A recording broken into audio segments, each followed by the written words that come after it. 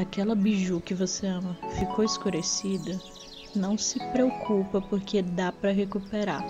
Eu mesma já joguei muitas bijuterias fora por isso, mas depois que eu descobri esse truque, nunca mais eu joguei nada fora. Você vai precisar de duas colheres de sabão pó, uma colher de bicarbonato e você vai acrescentar em água fervente. A água precisa estar fervendo.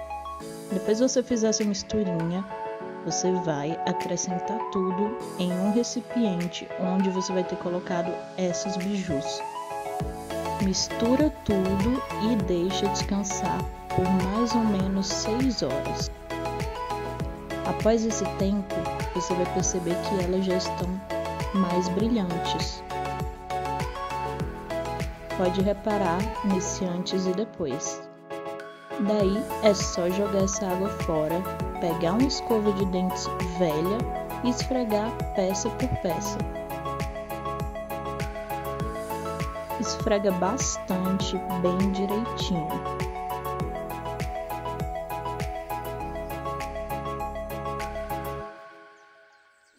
Depois que você terminar esse processo, enxague as suas bijuterias e deixe secar sobre uma toalha.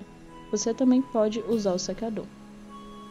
Pronto, brilho recuperado, nada de biju escura e você pode voltar a usar normalmente.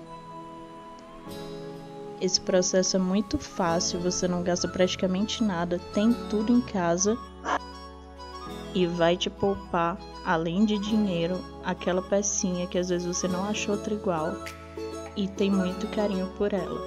Espero que vocês tenham gostado. Quem puder deixar uma curtida aí ou se inscrever no canal me ajuda bastante.